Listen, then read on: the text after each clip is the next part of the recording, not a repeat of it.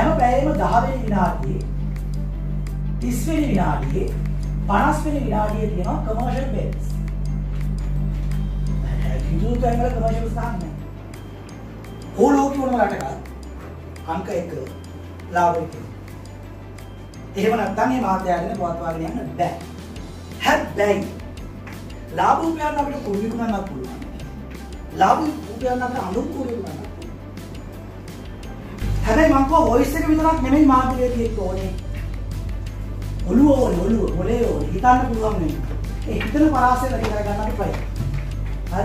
ඒකට මේ පොඩි brain exercises ටිකක් මම මේ කරන්න හදනවා. හරි?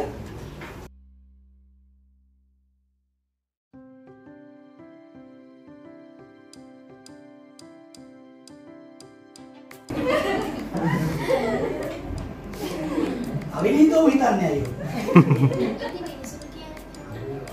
හා? ඉතුරු කියන්නේ නම. මිනිසුරු කියන්නේ අම්මා. ඒක සීමා බිඳින්න ඕනේ.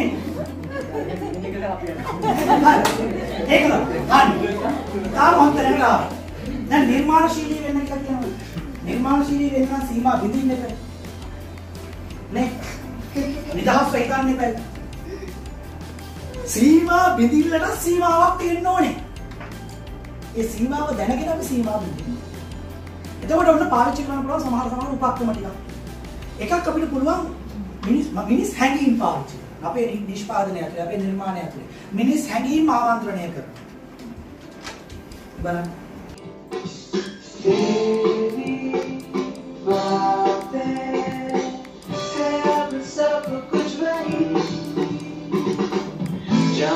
दूँगा तुझे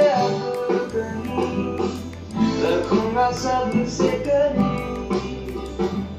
हँसी हाँ, तेरी है अब मेरी ज़िंदगी। ये तो हमने कथाकरे ಅದು ಪ್ರಧಾನವಶೇ ನಿಷ್ಪಾದಕಿಯಾಗಿಯೇ ಇದೆ ನಿಷ್ಪಾದಕಿಯ ತಮಾಯಿ වැඩසටහනේ වගකීම දරන්නේ. ඊටාම සීමිත අවස්ථාවකදී හැර නිෂ්පාදකයා තමයි කන්ටෙන්ට් එක තියෙන. හැබැයි යාට තියෙනවා ගයිඩ්ලයින්ස් පිළිපදින්න. ඒ ගයිඩ්ලයින්ස් ඇතුලේ එයා යාගේ නිෂ්පාදනය කළ යුතු අය ප්‍රැක්ටිස් කරනවා. මම සාමාන්‍යයෙන් උත්සාහ කරනවා තාත් එක්ක වැඩ කරන අය පුහුණු කරන්න. ඒ වගේ පුරුද්ද. ඒ වෙනුවෙන් මම ඒගොල්ලන්ට දීලා තිබුණා එක ටාස්ක් එකක්. දැන් මම ප්‍රවෘත්ති සංස්කාරකවරයා විදිහට ඉන්නවා. මම තමයි ප්‍රධාන ප්‍රවෘත්ති සංස්කාරක.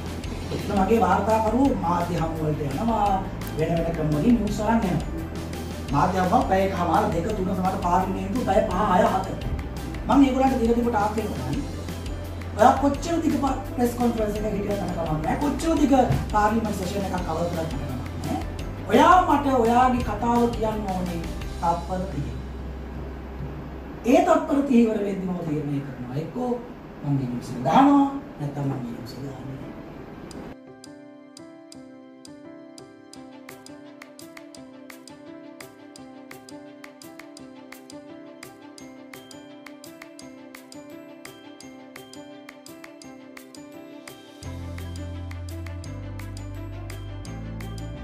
නැහැ. හරිලාද?